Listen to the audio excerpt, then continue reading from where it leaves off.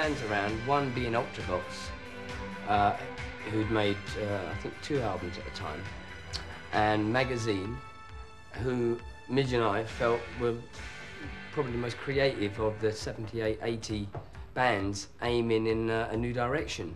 And we felt we wanted to be aiming in that new direction rather than in the old punky three minute pop song direction. So we got hold of Billy Currie um, from Ultravox, uh, John McGeoch from Magazine, uh, Dave Formula thought what a great idea and joined as well, and then uh, Barry Adamson on bass.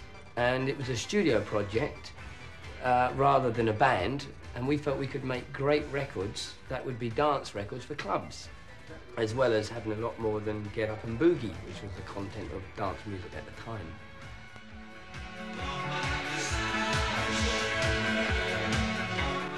And because of that involvement, Billy Currie realised that Midge Ure was the perfect guy to join Ultravox. And I didn't get my 20%.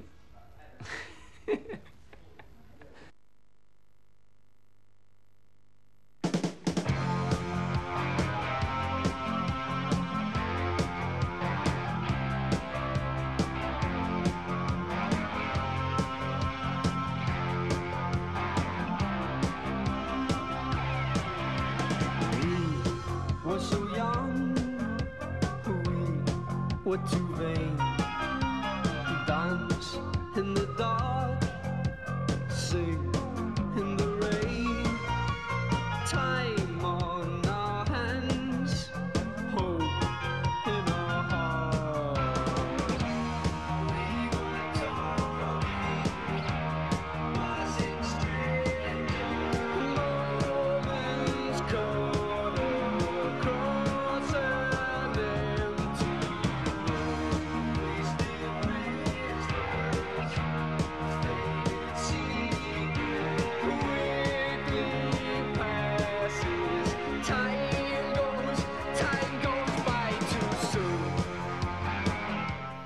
Electronic drums and they used electronic bass lines.